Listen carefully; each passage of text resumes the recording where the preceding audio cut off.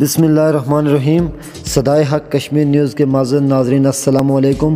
میں ہوں عمران عباسی۔ آج کی ویڈیو شروع کرنے سے قبل اپنے نئے آنے والے ناظرین سے گزارش کرتا چلوں، اگر آپ نے میرے چینل کو سبسکرائب نہیں کیا کیا تو نیچے دیے گئے سبسکرائب کے آپشن پہ کلک کر کے میرے چینل کو سبسکرائب کریں اور ساتھ میں دیے گئے بیل کے آئیکن کو ضرور دبائیں تاکہ آپ کو میری نئے آنے والی ویڈیو کا نوٹیفیکیشن ملتا رہے۔ باغ جعلی نیکان و سکینڈل کا ڈراپ سین جعلی نکاح کرنے والے لڑکی اور لڑکے اور مولوی عبدالصبور نکاح خان کو گرفتار کر لیا گیا۔ پولیس نے لڑکی اور لڑکے کو راول پنڈی سے در لیا۔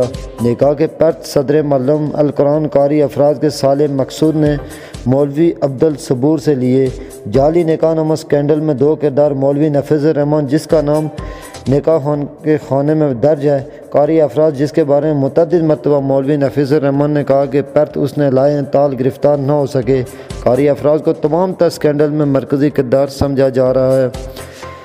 پرتھ لے جانے والا بھی قاری افراد کا سالہ ہے۔ گرفتار نکاح خان مولوی عبدالصبور جو کہ گرفتاری سے قبل میڈیا کو موقف دیتے ہوئے قاری افراد کو ملوث قرار دے رہا تھا۔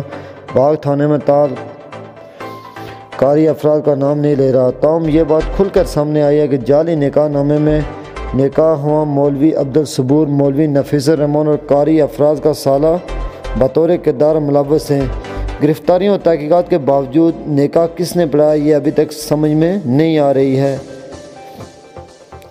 چونکہ مولوی صبور کا موقف ہے کہ پرت مقصود لے گیا، نکاح نامے پر دستخط نفیس الرحمان کے ہیں، جبکہ نفیس الرحمان نکاح کروانے کی ذمہ داری قبول کرنے کے لیے تیار نہیں، بلکہ جعلی نکاح نامہ کا مین کردار کاری افراد کو ٹھہرا رہا ہے۔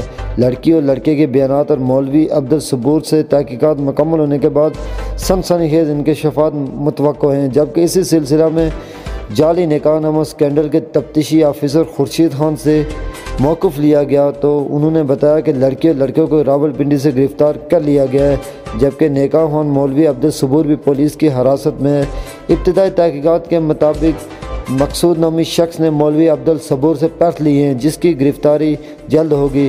زید تحقیقات کے بعد جو کردار بھی ملوث پائے گئے، ان کو کیفر کردار تک پہنچایا جائے گا۔ جعلی نیکا نعمہ سکینڈل میں پولیس کی طرف سے گرفتاروں پہ عوامی حلقوں نے ایس ایچ پرویز حمید، تفتیشی آفیسر محمد خورشید اور ان کی ٹیم کو مبارکباد دیتے توقع ظاہر کی ہے کہ جعلی نیکا احمد ملوث تمام کرداروں کو سامنے لایا جائے گا اور اصل حقائق عوام کے سامنے رکھے جائیں گے۔